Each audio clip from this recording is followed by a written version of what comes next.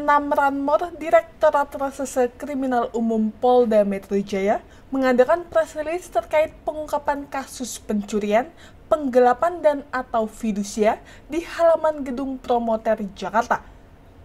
Kabit Humas Polda Metro Jaya, Komisaris Besar Polisi Argo Yono, menjelaskan berbagai macam modus, mulai dari mobil kredit dengan debitur fiktif dan memalsukan faktur, menggelapkan mobil yang masih dalam pembiayaan perusahaan leasing dan menjualnya dengan harga murah serta penadahan, hingga modus berpura-pura meminjam mobil kredit orang lain dan kemudian juga menjualnya dengan surat kendaraan yang telah dipalsukan. Kini para pelaku akan dijerat dengan pasal berlapis tentang jaminan fidusia dengan ancaman maksimal 7 tahun kurungan penjara. Sama, tadi yang kasus penggelapan, ini juga sama kasus penggelapan juga ya. Jadi kita kenakan pasal 372 KUHP ancamannya 4 tahun.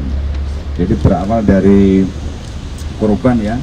Korban ini yang yang dia uh, mempunyai mobil yang di di leasing dia. Ya, mobil di leasing.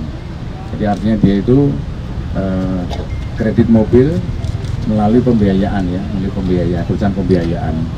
Ya artinya bahwa semua tanggung jawab untuk uh, kredit ini kan ada di uh, perusahaan pembiayaan tersebut gitu ya.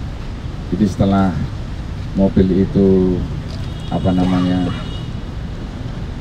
belum lunas kan, belum lunas tiap bulan dia membalikan ya, membayar, mengangsur ya, mengangsur ya daripada uh, mobil tersebut. Dari Jakarta, tim liputan Tribrata TV, salam Tribrata.